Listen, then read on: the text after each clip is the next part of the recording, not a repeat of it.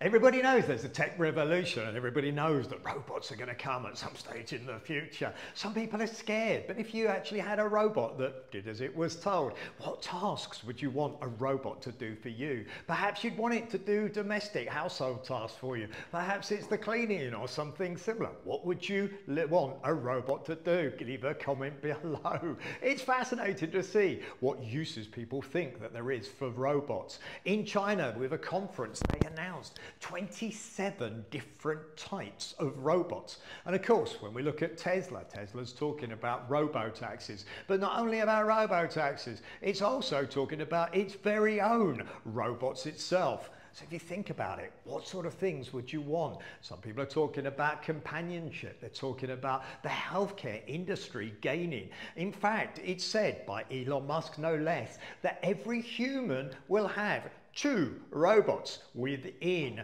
15 years. They say within one to five years that you'll actually be able to have a robot that does domestic tasks.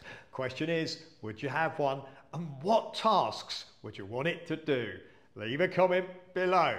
If you're investing, then Tesla stock, opportunity to take advantage. And also in China, Tencent, okay, again, they're at the front of this development of robots. In fact, they're a long way ahead. Could they actually be in a situation where they're making massive profits, not only in Tesla's case from robo-taxis, but also because everybody wants a robot of their own.